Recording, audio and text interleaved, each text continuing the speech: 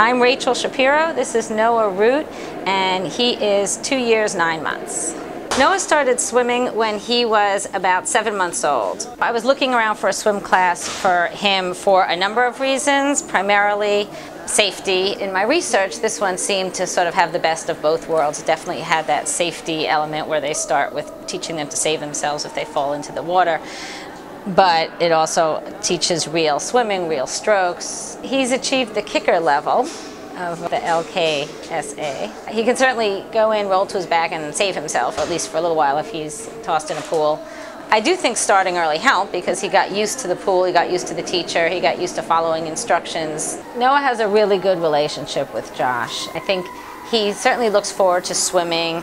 He refers to him over the summer for swimming. He'll say, oh, Josh did this or Josh did that. You know, the whole reason we sort of do all these early childhood activities anyway is to stimulate them and to get them to sort of develop and uh, I definitely think swimming marries, you know, the physical and the mental together. I think it's great. I think it's great. Probably one of the best mommy and me or best child programs that we've done since he was little.